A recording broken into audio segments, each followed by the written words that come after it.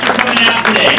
You know, I uh, a lot of people here have helped in my campaign, and uh, we've watched our state has been ravaged this the past four years, and especially the last two years since Barack Obama has taken the presidency.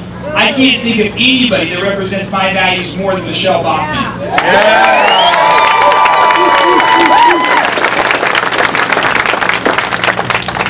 She has the uh, direction, the guidance. She has a spine of steel.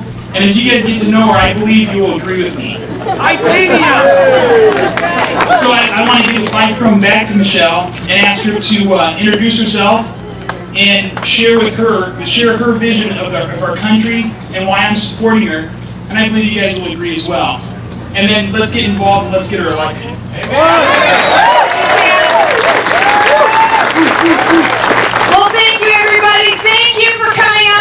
beautiful Saturday here in Iowa. We couldn't have a better place to be today. Thank you.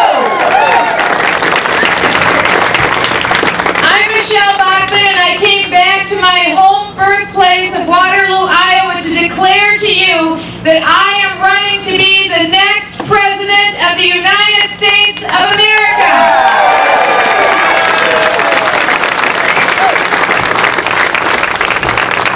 I came back to Iowa to make that announcement and that declaration because everything I needed to know I learned in Iowa.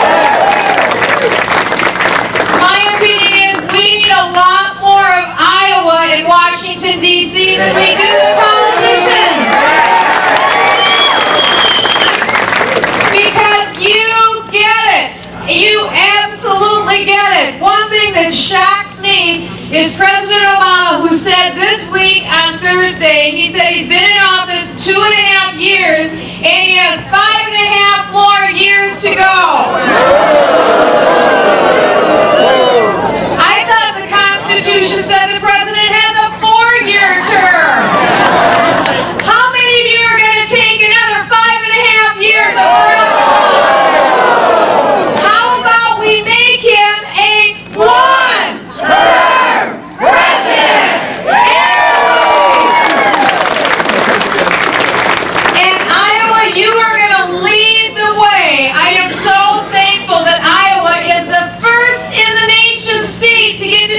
The next president of the United States. And I have a suggestion for you.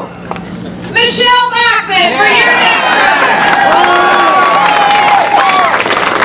And it doesn't just start after the first of the year. The caucuses are going to be very important, but we all know we have a very important day coming up, and those are the Iowa straw poll days. And I need all of you for your help to come out and help me in the straw poll. How many of you can fill a car, a bus, a wagon, a train, a sleigh? Get your skis on, get your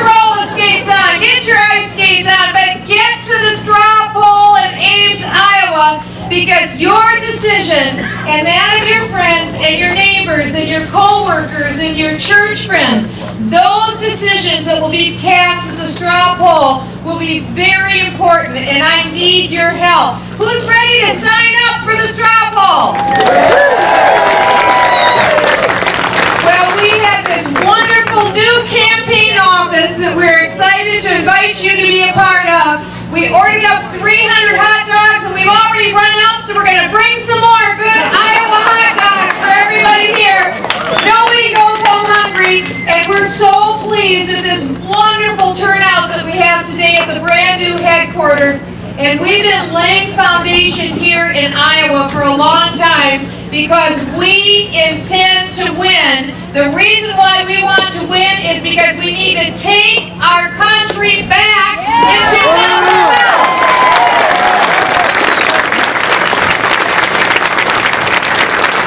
We just had the job report numbers come yesterday. Not so good, were they? We're, we're now two years into President Obama's recovery. President Obama's recovery had a 9.2% unemployment rate. This is not working for millions of unemployed Americans. This is not a happy day. There are millions of Americans whose homes are in foreclosure. And yet, yesterday, the president's spokesman had said that the American people didn't care that much what these job figures say. Is that true?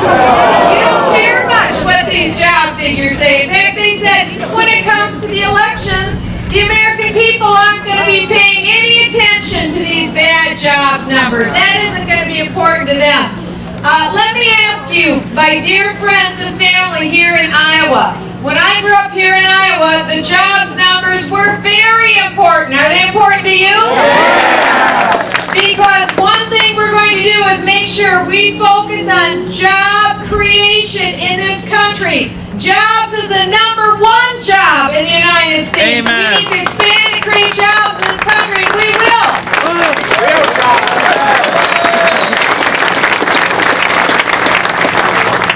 A matter of fact, our Treasury Secretary, Tim Geithner, also had something to say recently. And uh, he always is very, he's a fount of wisdom for us when it comes to the economy. He had said he was actually doing an interview with the former president, Bill Clinton, and President Clinton had asked Secretary Geithner, I understand that you're going to leave after they deal with this debt ceiling, and what are you going to do? And he said, well, I don't know. This is his words. I've never had a real job before. And so I'd just like to offer a suggestion. I hope you don't mind. Uh, as President of the United States, my plan is to create a real job for the Treasury Secretary